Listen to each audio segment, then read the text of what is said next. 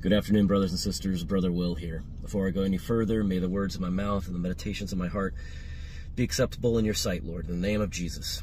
Amen. Well, guys, um, there is potentially what I will say is a huge sign on the earth below. Uh, quoting Acts 2.19, uh, that he will show wonders in the heavens above and signs in the earth below. This weekend, we may see a really big sign. And what I mean by that is, um, so I'm based in Southern California, as you may have seen some of my other videos, and I'm actually originally from the East Coast, where we had hurricanes all the time. Um, for the first time in, get this, 84 years, there is potential for a landfall tropical system in Southern California. Now you go 84. What's the big deal there? Let me just pull up. You talk about things are confirmed by one or two witnesses. I have five things from Scripture that make the number 84 very significant. First of all, the last time a 84 years ago, that, that last time that one made landfall in Southern California was 1949, for those of you who are following the fig tree generation. Um, but let me go further than that. Okay, so because it's what's awesome about this number 84 is there's confirmations of several things that are happening on the end times calendar.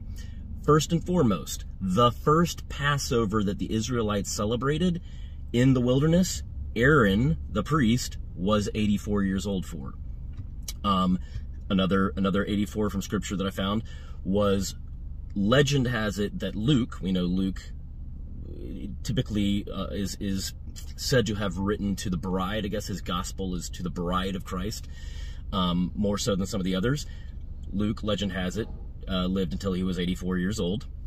But I'm saving the best ones for last here, guys. Let me let me read. Um, let me read Psalm 84 to you. Okay, I'll, I'll just read some some verses here. Okay, Psalm 84.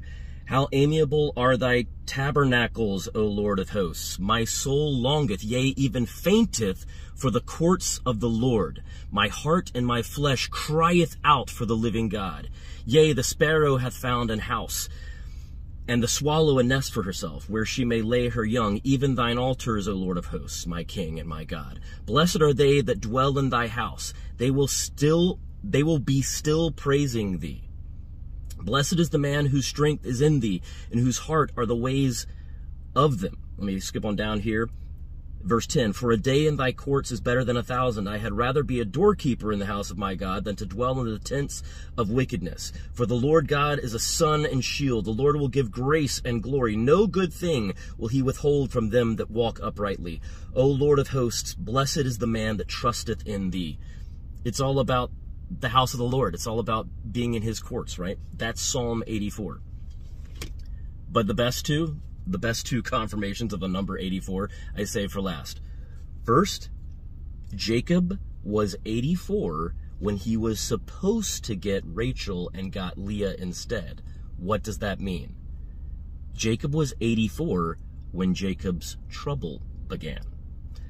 And then finally, what I would say is the best 84 in all of Scripture is Anna was 84 when she saw the promised Christ. When she saw Jesus in the temple, she was 84. So be encouraged, guys. Again, Acts 2.19 says, I will show wonders in the heavens above and signs on the earth beneath, right? So we, of course, have Revelation 12 sign, all the sun and moon and stars and all the signs in the heavens and the clouds even, if you saw my latest community post, all the signs in the heavens. But on the earth below, we have earthquakes, we have various things. But this hurricane, I believe, if it, if it makes landfall in Southern California, which is a, a very good possibility at this point, would be the first time since 1949, 84 years ago, that a hurricane made landfall. Fall, if that in Southern California, if that's not a, a sign on the earth beneath, I don't know what is. That's amazing. Our King is coming back for his people. Amen. Hallelujah, Lord Jesus. Thank you. Thank you, Father. Thank you, Lord Jesus. Thank you, Holy Spirit. Be encouraged, brothers and sisters. I love you guys. God bless you guys. Maranatha, Lord Jesus. And as we always say on this channel, in all that we say and do, may the Lord Jesus be magnified.